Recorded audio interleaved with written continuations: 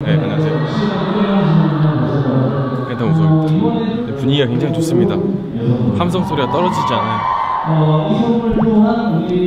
형 많이 응원해주고 멤버들 그리고 저도 많이 응원해주고 어마어마한 곡들이 또 세상에 또 아직 많이 공개될 예정이니까 기대 많이 해주시고 오늘은 후이 형의 날이에요. 1월 15일인가요? 1월 16일 예.